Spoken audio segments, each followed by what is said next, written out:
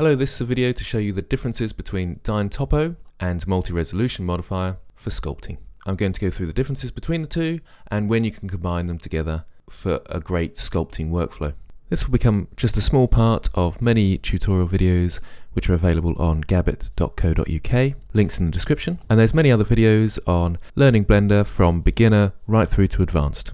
Okay, so I've got my default cube, I'll get rid of the light and camera for now, and I'll subdivide this cube by pressing Ctrl 4 so I've subdivided it. So I've got a subdivision surface modifier. That's the shortcut. Control 2, 3 or 4 will add the different subdivisions and I'll apply that. So now I've just got my subdivided cube but it's nicely in a sphere. I'm going to duplicate that so we can see the differences between the two. One I'm going to use a multi-resolution modifier and one I'm going to use Dyntopo. So we'll start with Dyntopo. So this one to sculpt mode and we'll enable Dyntopo and I'll just reduce the detail size and start painting.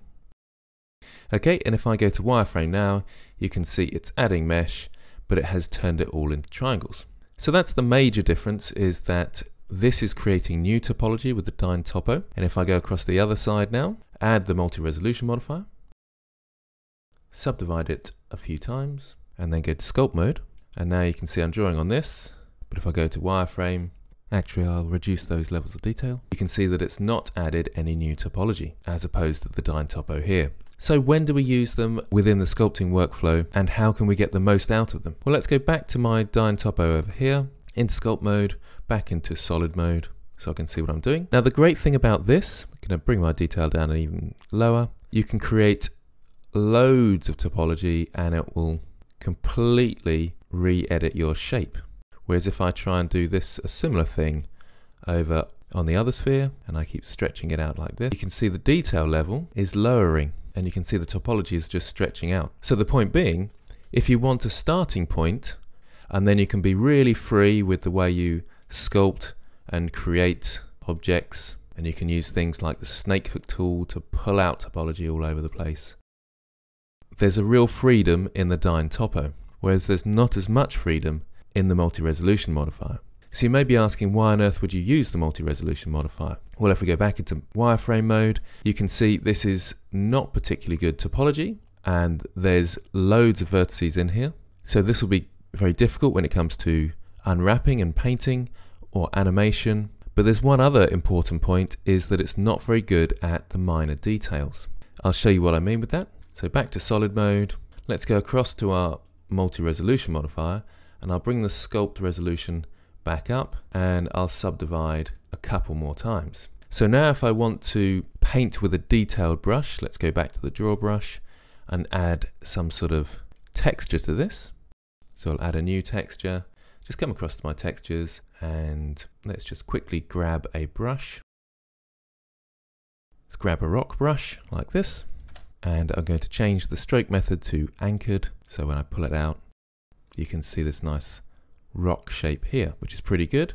I could go one higher as well. Let's subdivide again, just smooth that out a bit. Let's go to a different spot. Alt F will center in a certain location. And there we go, got nice rock formation there and I can make lots of sort of nice rocky looking things with different brushes.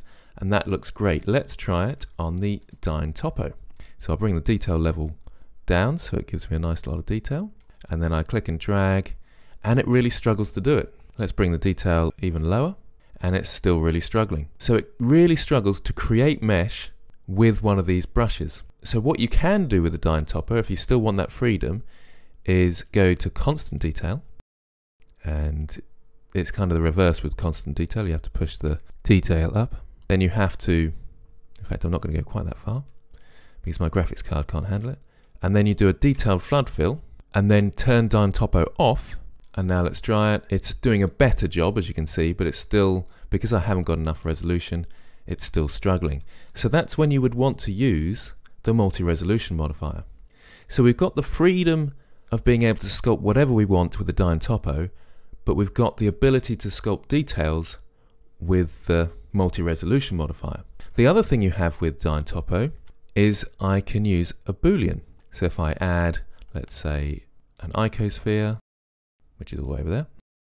Let's uh, subdivide that and just apply that. Bring it in. and add it to my object. It's struggling at the moment, so I'm going to reduce the detail. So I'm going to change the resolution to 30 and just do a detail flood fill. And let's do a boolean.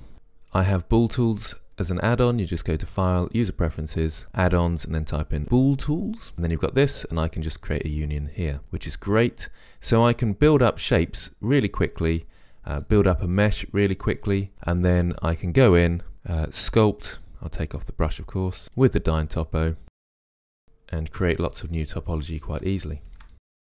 So it's got so much freedom, you can use boolean tools and add shapes together, so you can do arms and legs quite easily, or creatures' tails and things like that, which is very advantageous. If you try doing that with the snake hook, let's try and create an arm coming out the side here. You can see it's it's not got the same control, so you'd want to model it first and then boolean it on. You can't do that with the multi-resolution modifier. So how do we get them to work together? Well, the best way seems to be to start off with a Dyntopo. So you've got the freedom of creating shapes, adding objects with Boolean, but don't go too far with the detail. Then you have to retopologize or add a relatively low constant detail, which I'll do to this now. So I'll detail flood fill with a constant detail, and let's just see what that's like. Still relatively high detail. So if I turn Dyntopo off now, go back to object mode, and then add a multi-resolution modifier to this and subdivide it. I only need to subdivide it once because it's already a high detailed mesh. Let's go back into sculpt mode to our draw brush, get that texture back, change the stroke method back to anchor. And there you can see I'm able to add more detail. Let's subdivide it once more and see how that looks over here. And you get the idea, it's kind of working. It's not a great approach, this one. What you should do get rid of this, is retopologize, which means you have to go over all your mesh, painting on new topology. You can get plugins for this, like Instant Mesh. I'll put a card in the corner for a link to that. And once you've done this, then you go across to your multi-resolution modifier and you start doing the more detailed work. So the multi-resolution modifier, in my opinion, should be kept for this minor detailed work like this. So the workflow is Dyntopo, do all your booleans, get your basic shape, you can go relatively detailed in terms of horns or spikes or whatever they might be, retopologize, then go across to the multi-resolution modifier for your finer details such as these. So hopefully that rounds up the differences between Dyntopo and multi-resolution modifier and when to use which. I'd love to hear your feedback on these videos and do remember to go to my website to check out courses from beginner to advanced. Links in the description. Thanks for watching.